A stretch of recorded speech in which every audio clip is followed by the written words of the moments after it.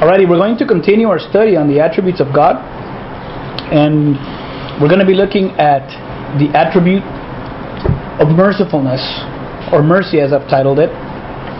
And the first thing I would like to ask is Well, I have a question. Doesn't justice come before mercy? Yes, but this time we're going to call it the backwards study, okay? no, and actually, and actually, yeah, and, ac- and by the way, it actually would have helped if we would have gone through justice first, First. because uh-huh. because I, I'm going to have to get a little bit into it, but which- which is fine. It'll be Okay. it'll only be an introduction Good, for you, just right? copy your outline. Yeah. so, so what happens is that well, the first thing I wanted to ask is, how do you guys understand mercy? What is mercy? What do you guys think is mercy? No looking at the outline, That's please. when you. That's when you actually, when you're in school, when you're holding another guy's hand and you're trying to force him back until he says uncle. Really? Isn't that called wrestling? when God doesn't give you what you deserve. you think? Well, that's a actually that's a good good way of putting it. It's a good way of I putting it. guess a, a more technical, a technical, um, a technical definition of mercy would be uh, the withholding of of justice. Basically, what you said, but more specifically, the withholding of justice. The kind of like a, something that a judge or even a governor can do by giving someone a pardon. Something that that is not owed or deserved. It's something that is unilaterally given Okay. from one person to another. Now let me ask now let me ask this, this next question. What would be the difference between grace and mercy? Or do you think they're synonymous? And if you and hmm? I'd say they're different. okay, how how would you describe the difference? Well, grace is also giving you something that you don't deserve, but it's not like the justice is not involved. It's not, um, you know, it's not um, withholding your just punishment. Yes, it's, it's it doesn't have it's not in the context of judgment. You could say, right? Yeah. yeah. Well, I, I don't, I don't think they're synonymous. I just think that mercy is a form of grace. Okay. I've, I've heard the definition that Okay. Well, I'll, I'll give that a charity. Again, again. No, but I'm sorry, grace, continue. grace is unmerited favor in the place of merited wrath. That's from J.I. Packer's Knowing God. Really? Okay. But uh, yeah, the reason I ask is because you know some people think that they're synonymous, but you know there is a there is a technical difference between the two, and so I wanted to go ahead and start by looking at uh, the first couple sentences, and if we look at the first one, if I could actually have you read it, Johnny? Mm. The quotation from Systematic Theology? Yes, from Charles Hodge. Mercy is kindness towards the miserable and includes pity, forbearance, compassion, gentleness, which the scriptures so abundantly ascribe to God. Charles Hodge, Systematic Theology, Goodness of God, page 427. Okay.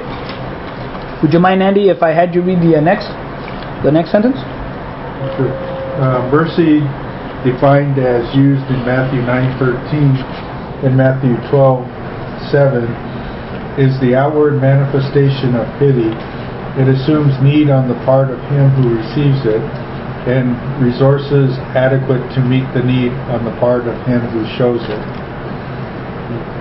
So in other words, what what we can see here is I particularly like um, Charles Hodges' description of it, which is that you know it is a form of pity, and I like how he puts that it's you know that it's something that is given to to the miserable. But I think that uh, the very things that you guys were talking about, dealing with the issue of, of justice, for the most part, it does involve not giving, you know, the particular judgment, you know, keeping the judgment on, you know, the circumstance or the individual that deserved it. know. And so on on that point, I would like to go to uh, point one, and if we can go ahead and read that, I'll go ahead and read it. It says the Bible is very clear that our God is a merciful God. Psalm 86:15, but you, O Lord, are a God merciful and gracious, slow to anger and abundant in loving kindness and truth. Psalm 145:8, the Lord is gracious and merciful, slow to anger and great and loving kindness. But God is also a just God. For this reason, He is worthy to be praised. And I have a, and I put Psalm 59:16. And would you mind, Caleb, if I had you read that?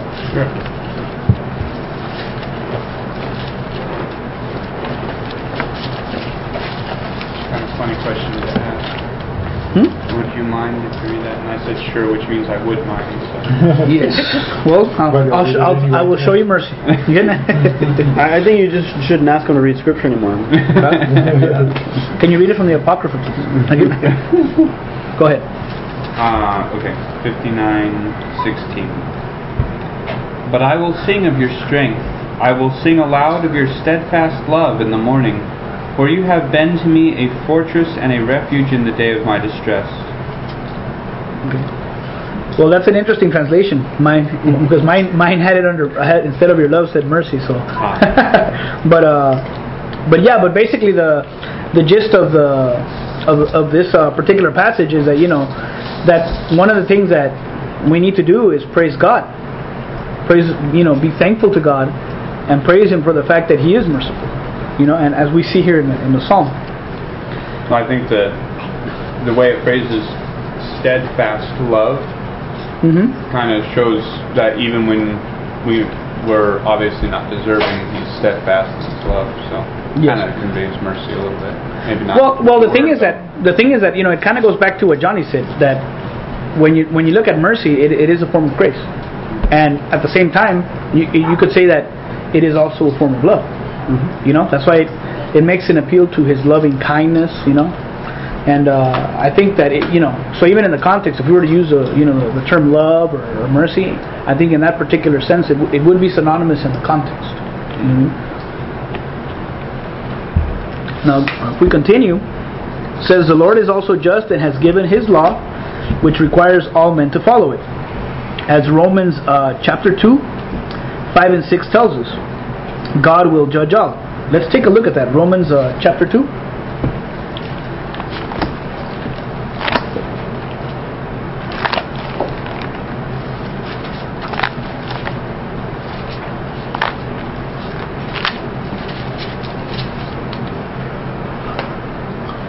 See, and it was verses five and six, right? Mm-hmm. Okay. Would you mind reading that, Carlos? Sure. See, he says he doesn't want to read it. Yeah. Another one. Oh my goodness. you know, I'm not all merciful. So. This is senior though, right? Huh? yeah. But Junior's listening, so watch out. My goodness. Okay, verse 5. Um, but after thy hardness and impenitent heart treasures up unto thyself wrath against the day of wrath and revelation of the righteous judgment of God, who will render to every man according to his deeds. Okay. So, so in other words, we see here that you know, God will be judging man according to how he behaves. And then, uh, and then it says, and Romans 1, 18 to 19 reveals the anger of God against transgression. So let's go ahead and uh, turn to the uh, previous chapter. And Cindy, would you mind if I can have you read those two verses, 18 uh, through 19? Sure. For the wrath of God is revealed from heaven against all ungodliness and unrighteousness of men who suppress the truth in unrighteousness. Because what may be known of God is manifest in them, for God has shown it to them. Okay. So once again, so now we, we not only understand that God, of course, requires men to keep, you know, to keep the law, and He's going to judge them by it. But we also see that there's an anger that God has for the fact that, you know, that we are not following according to His law. Now, if we go to uh, A here on the questions, number one is if God is just and must punish transgression, how can He also be merciful?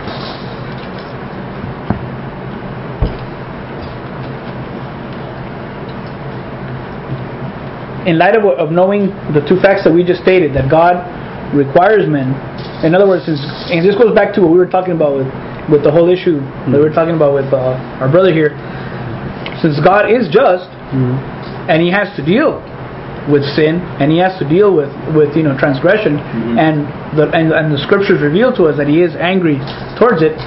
How do we reconcile the fact that he that he's just, but yet he shows mercy? How, how do you how, how do you guys see a reconciliation of the two? Romans 3. Romans three, Yeah. in reference to what? To uh, Um, Romans 3, um, uh-huh. I would say um, verses 19 through um,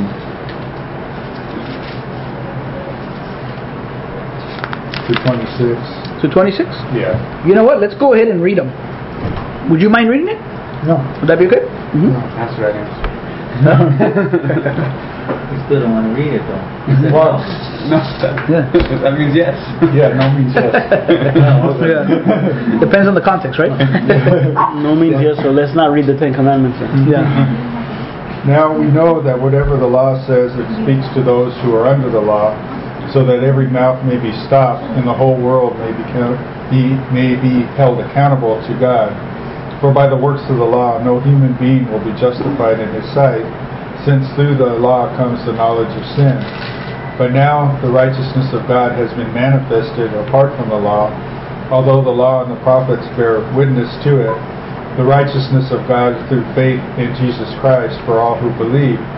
For there is no distinction, for all have sinned and fall short of the glory of God. And we are justified, justified by His grace as a gift through the redemption that is in Christ Jesus, whom God put forward as a propitiation by His blood to be received by faith. This was to show God's righteousness, because in His divine forbearance He passed over former sins.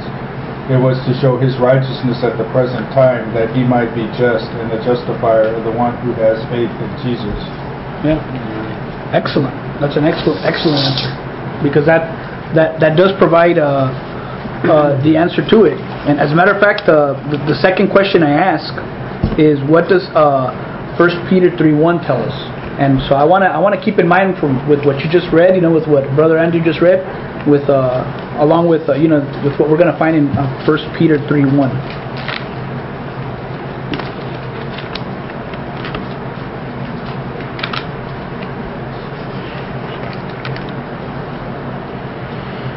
Hmm. You sure? I'm sorry? Did it? Uh, yeah, something. Yeah, something's wrong. Second Peter, maybe? Huh? Yeah, let's try Second Peter. Maybe I Um, might have No, missed First it. Peter. First Peter three one. Yeah, but I think I got the wrong the wrong Because verse. this is in the same way you wives be submissive to your own. yeah, I, I was I was what I was thinking of something else at that time. Uh, you know what? hint, right? Sandy? Hint, hint. You know what? Let's underline that.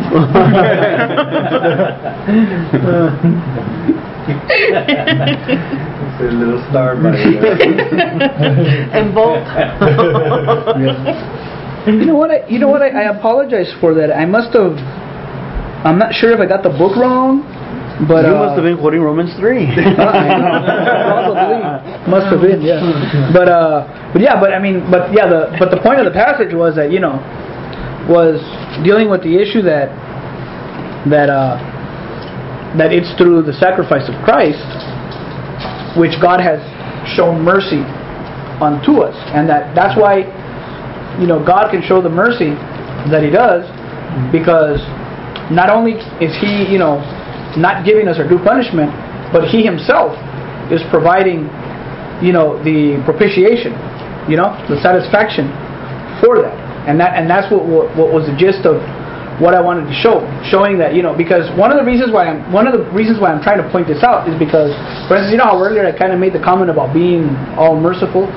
I've never, I, I, I may be wrong, but have you guys ever heard at any time in the scriptures as God being referred to as all merciful? Not off the top of my head. I've never heard that. But what's interesting is that you know in in Islam, they will refer to uh, you know to Allah as all merciful. And the funny thing is, one of the problems that I have with Islam is that, for instance, they teach that if you know if if you sin, then obviously God is angry in the same way, and you know wants to and wants to require it of you. But at the same time, you know, if you appeal to Him, it says that He will forgive you. Mm. But the problem is that, you know, yes, and they, and they refer to Him as all merciful, which is inconsistent because at times, you know, there is no mercy. So if you're all merciful, that means you'd have to be merciful at all times, right? you know, so so He's, you know, you don't have that mercy. And then second, they don't realize uh, the need for for propitiation. They basically just say there's no need for it. They don't, you know, they're not acknowledging it in, in the same way that we in Christianity do. We, we, we understand the grace of God. There is a grace to God, you know, and there is a mercy to God.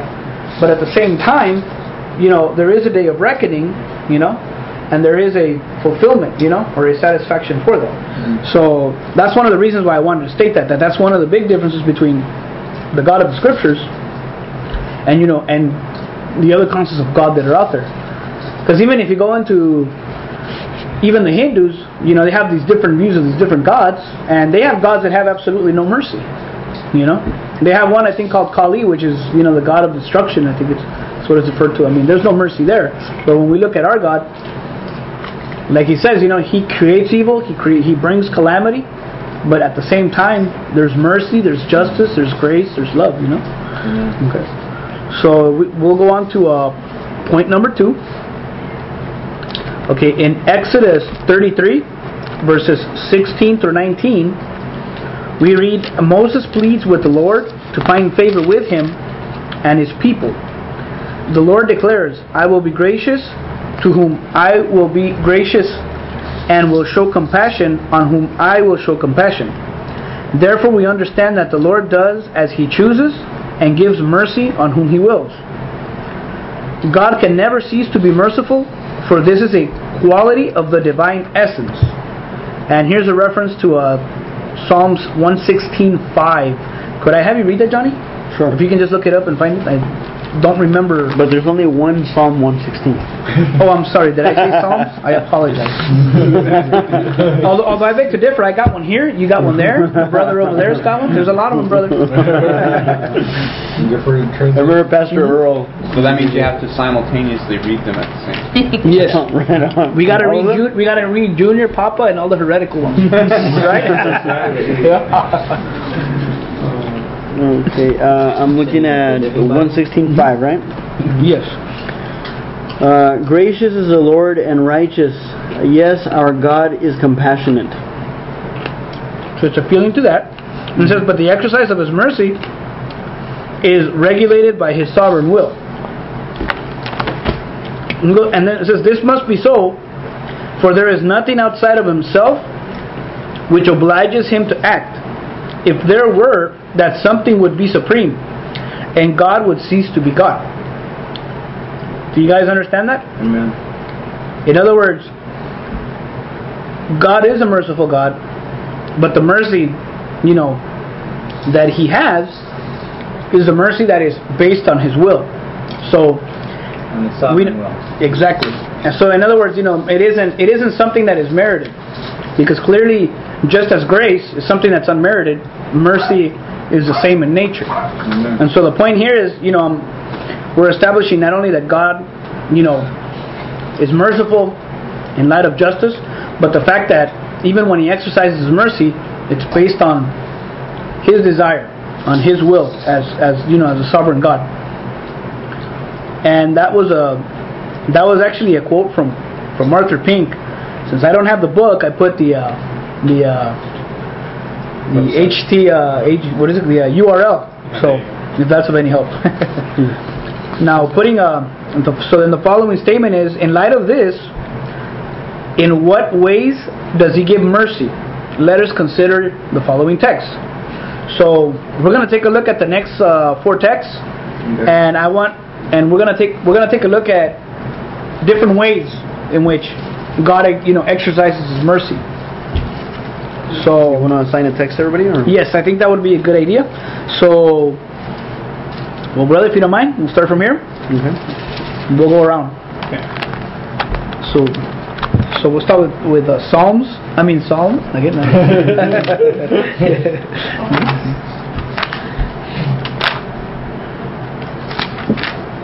Psalm 145. Okay, Psalm 145, verse 9. Uh, the Lord is good to all, and His mercies are over all His works. Okay. So what do we see there? His works Um, are mercy. For uh, was was it um, common grace? Yes. I even see it as far as His creation. That the Lord, from here, we see that, you know, it isn't just a particular mercy that He exercises, but also a general mercy because He has a love for all and all His works. I mean, we're all, the, you know, the universe and ourselves are the work of God. So we see that the mercy actually can go through throughout His whole universe to the very creation. And uh, okay, would you mind reading uh, Caleb uh, Matthew chapter five, verse forty-five? Sure. So that you may be sons of your Father who is in heaven. For he makes his sun rise on the evil and on the good, and sends rain on the just and on the unjust. Okay. Um, let me read one verse before that. Sure. But I say to you, love your enemies and pray for those who persecute you. And I know some of the other older versions add a couple of words there. Curse you. Yeah, I had a couple of words, it says except for Osama bin Laden. And then you know. Um, I don't know. I noticed that in some versions there's like more extended, hmm like you should love. Um, You're looking for the long version? yeah. Yeah. The extended version. I'm wondering if it might be a different gospel. Yeah, like a. Might be a- parallel. may- maybe, yeah, maybe a I, I remember parallel. it's the Matthew. Um, What is that one reading? Is, might yours like is your disputed- translation based on the Westcott and Hort? no, mine's the the shorter version. but- you say no, mine is Texas I had a New King James that that had more there. but whatever. What? How does uh, Carlos's read? You mean senior? hmm I have the New King James. If you want, I can also Well, read the New, New New, King James. New King James and King Or- James are ver- are based on the same uh, Textus Receptus. Yeah. Mine says, But I say unto you, love your enemies, bless them that curse you, do good to them That's the one. that hate you, pray for them which despiteful- despitefully use you and persecute you. See that that all of that's not in my version. Really? Okay. Well, it's because. But I, but I say to love your enemies and pray for those who persecute you. And then yours goes on, but mine just says, so that you may be sons of your Father who is in heaven. For he makes his sun to rise on the evil and on the good, and sends rain on the just and on Really? the unjust. How's what does American Standard say? Well, mine has the shorter one, like him Yeah. because we're, ours are based on the Alexandrian text types, um, which says, "But I say to you, love your enemies and pray for those who persecute you." And that's where it stops on verse 44, and, and it probably is that the uh, the lo- longer reading would be because the scribes were probably so familiar with reading it some ways that they would try to make them the same. And Luke's version probably reads that way, and he probably read. I mean, I haven't. We'd have to take the time to look at Luke's version, but sometimes they would do that to kind of make them the same. It's the same thing with the Lord's Prayer in Matthew chapter 6, where if you look at Matthew's version and Mark's and Luke's, they're not the same. Um, and so sometimes what scribes would do is they would add to Matthew what, or ma- add to Mark what Matthew wrote and or Luke and so forth. Yeah, see, that's why we have different gospels. The Lord made sure we didn't lose any word. Each one got a piece. You know? No, but going back to this, obviously, we, we this is a passage that you know, particularly in, in the reform in the reform community, mm-hmm. we recognize clearly as being a showing of common grace, right? But it is also a show of mercy, right? But my question would be to you: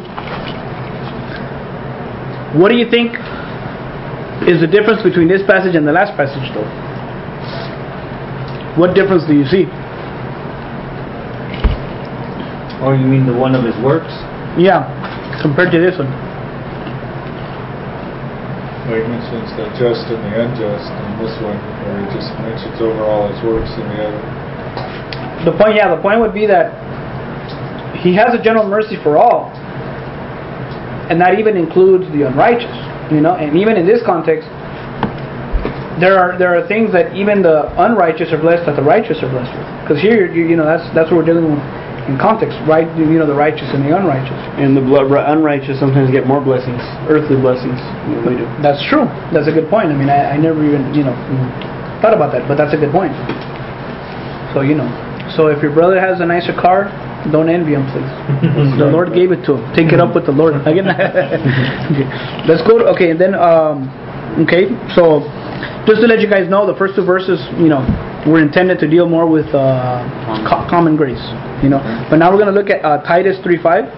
It's kind of funny to call it common grace. I know the reason why it's called that, but it's really There's nothing. grace. Yeah, ex- exactly, exactly. There's nothing common about it. About it. Yeah. Yeah. Let's see, Titus. Not by works of righteousness which we have done, but according to his mercy he saved us by the washing of regeneration and renewing of the Holy Ghost. So what do we see here? It doesn't use the word labor, by the way? Labor, Yeah. Where? Labor of not by works of righteousness which you have done, mm-hmm. Yeah, but according to His mercy, He saved us through the washing of regeneration and renewing of the Holy Spirit, of the Holy Ghost. with yeah, who He poured out on us abundantly through Jesus Christ our Savior.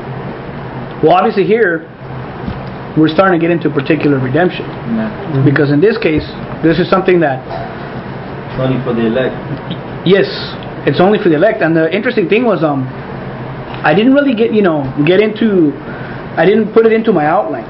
But one of the things that uh, that I did read that was rather interesting that Arthur Pink did, you know, talk about is the fact that if you look at angels, you know, angels obviously are also Because Carlos is a Dodger fan. was that? Oh, we're we're, we're talking Watch ab- we're talking about the real thing, not fakers. You know. Just kidding. Get it? yeah, get Just kidding. No, but no, but when we're when we're dealing with the subject of angels, you know, one of the things that I did find interesting is that you know Arthur Pink was saying that mercy is something that you know is particularly given to us because when you take in consideration, you know, the angels of heaven, they don't receive mercy. They do receive grace in the sense that they are gifted with things that they don't merit. But in terms of receiving mercy, you know, they don't there's nothing in the scriptures to indicate actually that they would receive the mercy that we do. As a matter of fact, we know that there were angels that sinned, The fallen angels. exactly, you know, and And they don't get mercy. That's a good point. they don't get mercy. Yeah, they are not given. They are not. They are not. Jesus didn't die for them. You know what I mean? They don't get. They don't get mercy. They're Not judged. even- Not even from the Dodgers. Huh? See, they're going. They're on their way to hell, man. That's good. but um, but you know, but the thing is, yeah, and, and you know, and I did, and I did that, and I did find that particularly interesting because you know, it really makes us, Mm. you know, kind of really think about our situation. Amen. You know, it's a very special. It's a very special grace to say that we receive in that.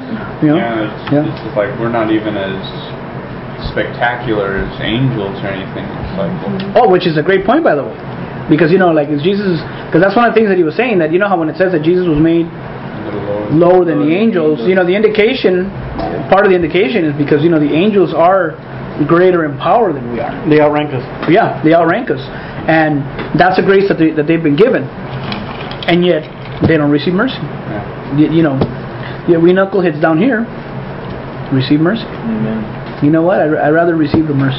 Yeah. you know, but, Yeah. but uh, yeah, no. Well, going on. Uh, so, Andy, would you mind Isaiah, reading Isaiah forty nine ten? No, I wouldn't mind. By the way, that's the correct answer. yeah, because or else, yeah, exactly. Or else it would be yes. And Well, maybe he won't read it because when they said they didn't want to read it, they read it. read it, that's true. He's saying he did. It's kind of like that story about the father with the two sons, and he tells them both to do something, Yeah. and one says, "Yes, I will do it," and he doesn't do it, Yeah. and the other one says, "No, I won't," but he does. Yeah. oh yeah, yeah. That's how he asked it. That's the real story under the story. You got to be careful. Will. You keep doing it, you know, you're gonna you're gonna mind boggle him and have to turn into like Bart Ehrman or something. I'm skeptical, you know I mean? Forty nine ten. That's it, forty-nine ten. They shall not hunger or thirst, neither scorching wind or nor sun shall strike them. For he had, for he who has pity on them will lead them, and by springs of water will guide them. Okay, we'd have to read. We would have had to read from the beginning of the chapter, which this is an interesting chapter because it's, it's actually dealing with the Messiah and the work that he's going to do. But in particular, here in this particular passage, it's not dealing with. Uh, Well, I guess in essence, in, in, in a sense, it could spiritually be, but it's really dealing with Israel.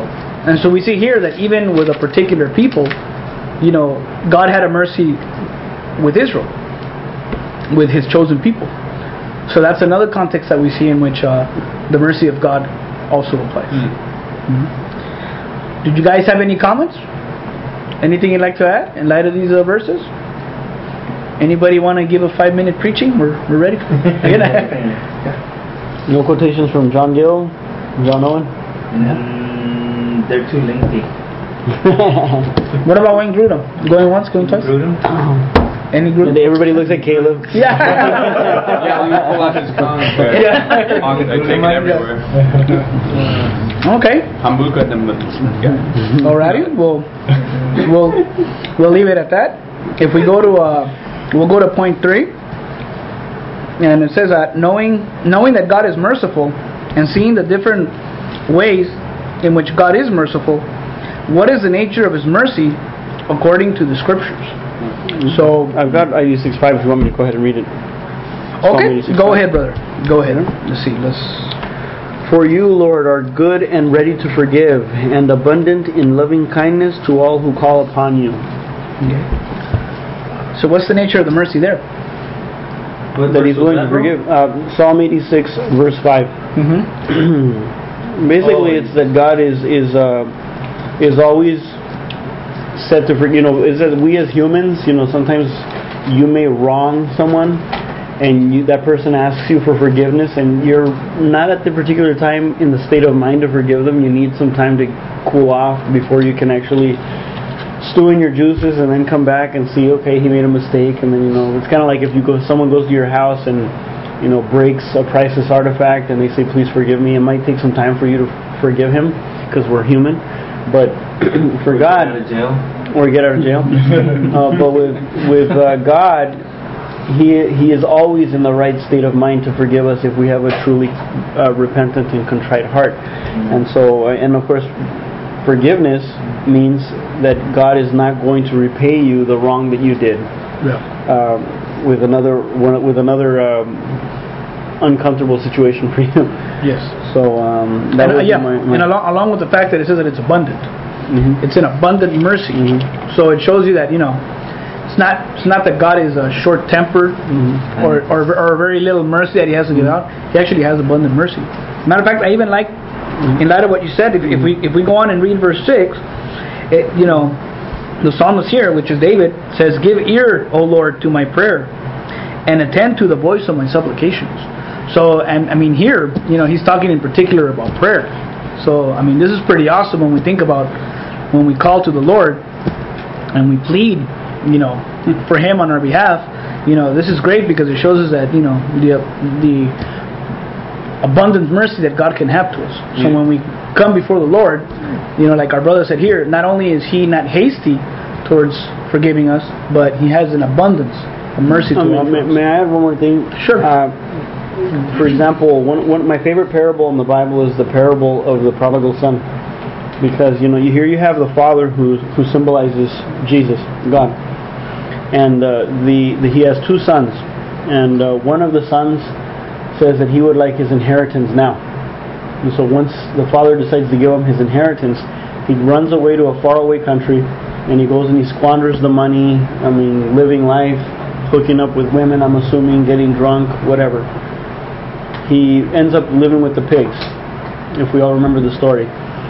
Then when he gets back, and this is the most interesting part of the story, the father welcomes his son by giving him the ring of his finger. He gave him the the finest robe that he had, and he had him kill the the biggest, the fattest calf as a celebration because his son has returned. And the other son, who had been there the whole time faithfully, who had never squandered any of the money or any of the things that were going on, he was complaining, you know, when I I've always been here with you, I've always done what you asked me to do, I've worked hard, and whenever I had a you never whenever I had my friends over to have a little gathering, you never even did anything for me. He squandered everything, and now he's back and you're celebrating it. And th- this to me shows that God not only uh, forgives the uh, the uh, the sins that you have, but He also rewards you for repenting. And of course, repenting, repentance is actually a gift from God. And so, as Augustine said, God is crowning His own gift. That's a good point. It's a good illustration. And uh, Luke 178, would you mind reading that to me? Hmm? Let's turn to Luke.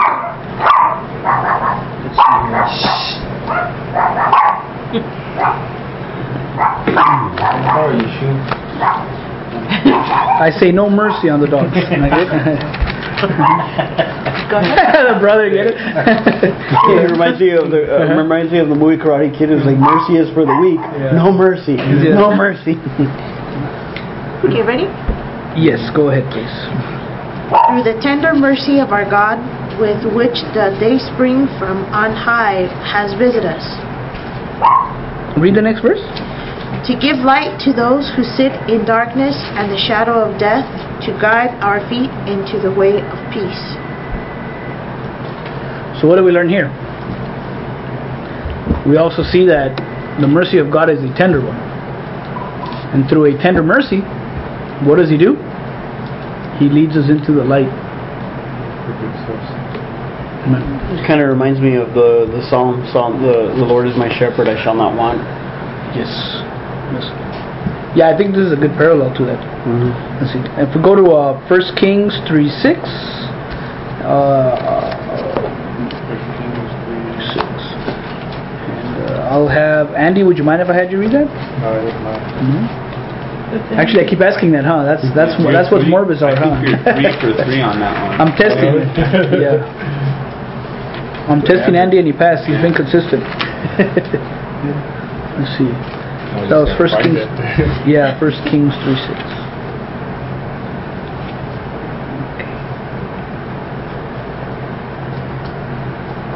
American Standard Version? No, ESV. I wonder, Go ESV. I wonder, Go Vern. ESV. okay, First Kings three six.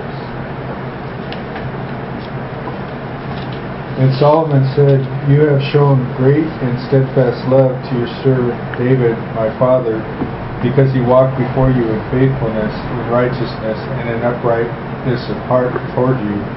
And you have kept for him this great steadfast love, and have given him a son to sit on his throne this day.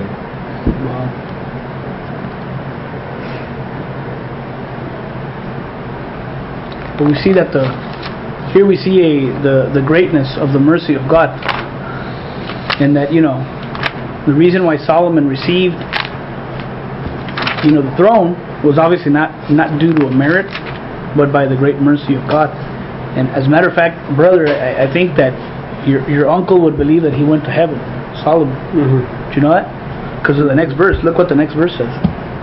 Can I just turned my Bible. Oh, okay, no problem. It says, Now, Lord my God, you have made your servant uh, king instead of my father David, but I am a little child. That means he went to heaven. Just kidding. okay. Sorry for the uh, off tangent there, right? Okay. But uh, we're on. Okay, we, we just so we just read. No, that was First Kings uh, three six, right? Okay, let's go to Psalm one hundred three seventeen.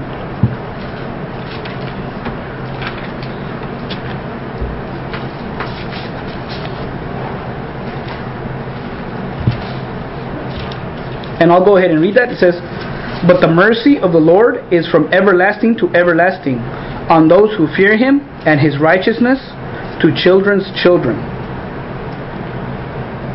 So where? So since when has God's mercy been? And to when will it be? From everlasting to everlasting. Alright, amen.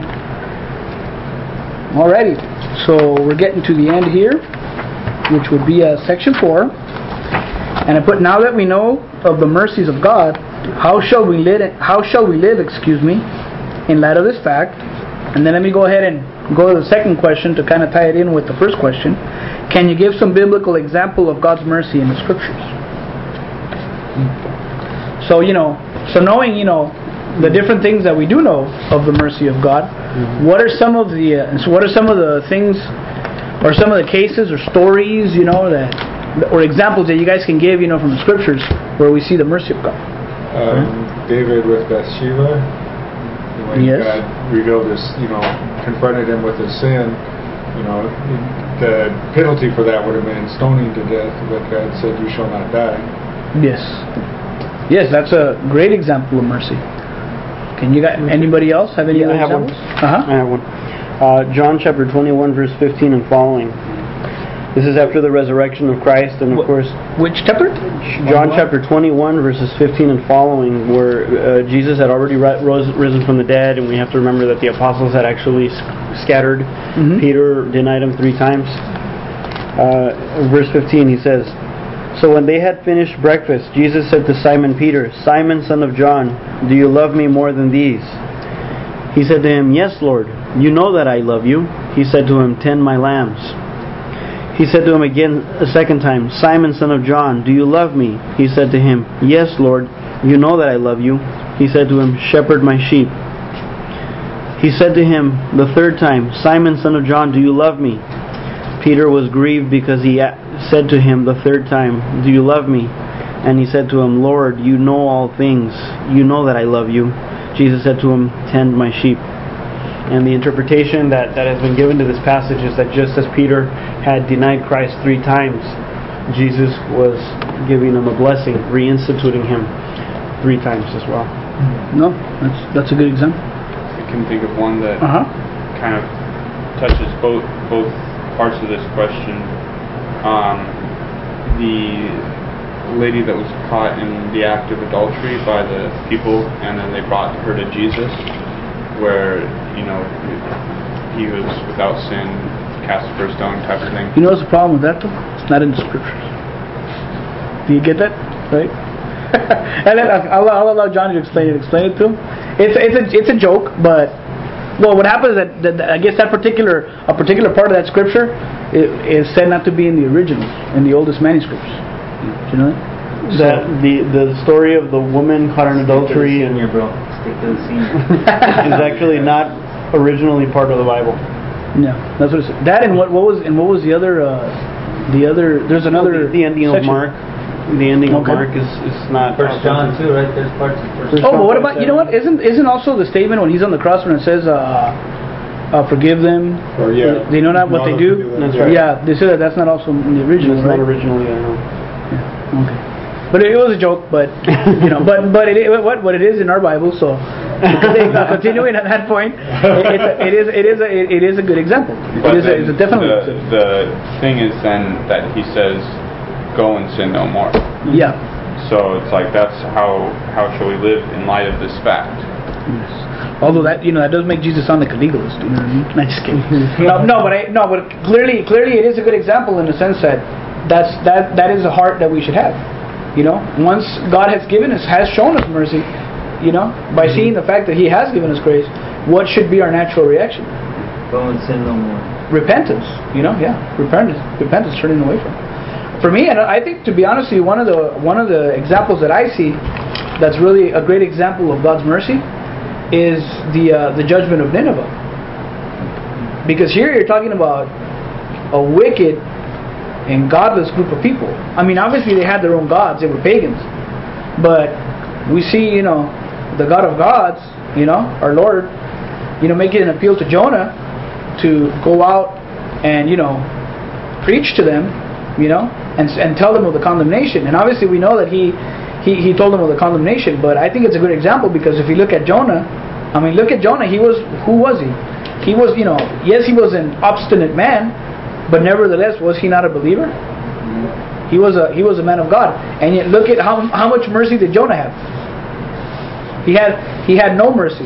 No mercy. Well, I mean, and, uh, the, one of the greatest examples would be Paul. Mm-hmm. Um, I mean, to his dying day, he, uh, I don't think he really ever forgave himself for the things that he did. Yeah, that's true. That's true. As a matter of fact, you know, that's a that's a good example also from the standpoint of everything that we've talked about. It's a showing of how great His mercy is, how abundant it is, and, and even how tender it is. Well, Because uh, I'm sorry, Go ahead. Um, no, just to finish my point, but but but the, but you know, but the whole thing with Paul is that you know it, it is an amazing thing. And Paul is definitely a God's craftsmanship. You know, when you see what and the fact that he wrote two thirds of of you know what we have in the scriptures, you know, and you know the knowledge that the Lord. The New Testament epistles. Well, yes, I'm sorry. Yes, I thank you for the clarification. Yes. Although I I didn't, they, don't they say he wrote part of Genesis? no, but No, you that know, was, um, uh, what was this guy's name? Job. Joseph, Joseph Smith? Oh, yes. No, but the whole thing is, you know, yeah. I mean, the Lord, the Lord bestowed so much upon him, even though, I mean, this was a man who was, what was he doing? He was showing no mercy to the Christians, that's for sure. And yet the Lord, you know, bestowed him with probably the greatest mercy. But I'm sorry, Andy, you had a point before I, I. I actually, I interrupted you. but, No problem. Um, well, the story of Jonah even more shows us mercy because, you know, Jonah didn't want to go, but God He made him go. made him go, yeah. He didn't leave him to his free will. And he did have mercy on him Yeah. he because he could have had him killed. Did. Yeah, yeah. You know, instead Well, I mean, put him- being inside the whale is, is actually a pretty good way of dying. big fish, brother. A big sea monster. Get in, yeah. yeah, being inside Yeah. of a big sea monster is a good way to die. Yeah. But yeah, you know, but it really is an awesome. It is. It is a really No, and you know what? So I really, I really like the. If you read the book of Jonah, it's an awesome book. The, the book of Jonah is an awesome book, and I love it because the way it ends. I love the way it ends because you know you have the whole thing where, you know, you see that the people repented. You know, they turned in, you know, in sackcloth and ashes, and, and the Lord spared them. He showed mercy on them. But yet, it's interesting how I like the way he deals with Jonah because it also shows you the mercy he had on, jo- on Jonah. Because Jonah's there and he sits. Remember, he sits by his tent. He he puts up a tent. He's waiting to see if, it's, if you know they're gonna get burned up. you know, and, and he's sitting there, and then and then the Lord, you know, says that he what he he makes a plant grow right overnight. You have to give him shade. He's all kicking back on it, enjoying it, and then all of a sudden, you know, it says that night he put a worm, you know, that ate up the so the next the next day when he's out in the sun and he's like telling God that he wants to die, you know, it's like what a miserable, you know, what a miserable mm-hmm. man. And yet the Lord, what does he do? He proceeds to teach him a lesson. He could have he could have just killed him or you know what I mean or or punished him severely for that. Yeah. You know, not or not given him the mercy he gave them, but yet he did. You know, Yeah. even within Amen. it. Amen. So it's pretty awesome. Yeah. Well, I guess uh, we'll go back to the first question. So, in light of this, how do you guys say we shall live? How shall we live? Like the great question uh, Francis Schaeffer asked. With Or how, gratitude. yeah. Gratitude. You know, another point I don't think was brought out too much in light of what we've learned about God's mercy is when we sin, not to delay going to Him in repentance and confession, Yes. because He is merciful. Yes. Yeah, and, and that and that would go back to the um to the psalm actually that Johnny had read. I can't remember which one it was. Was it Psalm 23. Psalm 23? Was it? the Well, Lord or was it 40, the one where where oh no, I think it was actually Psalm 86:5, right? Where 86. where it was dealing with with you know the whole the issue of his tender mercy and and you know the abundance of it. But uh but it was in light of uh I forgot the context of it. But um but yeah, I think I think there there I mean I didn't have enough time obviously to be able to include other verses and actually in this section I, I, I was intending to uh, add some other verses but one of the one of the some of the verses that I actually wanted to bring was that you know that God also makes an appeal to the fact that since he's merciful we also have to be merciful so this is actually you know in in a sense it's a communicable it's a mm-hmm. communicable attribute. And so mm-hmm. that's one of the important things that I see is that you know that, this is, God is a great example of how we should deal not only actually with ourselves in terms of being grateful and, and acknowledging God's mercy but even acknowledging God's mercy upon others and looking at what he does in the life in the life of others even on those who don't deserve it you know? And that's one of the, one of the things that I, that I also liked about you know the example of the Ninevites that they less than others God hadn't hadn't you know regenerated them. You know they weren't they had you know at, at the time or anything they weren't a people of God and yet And mercy. the mercy of God saved them and spared them.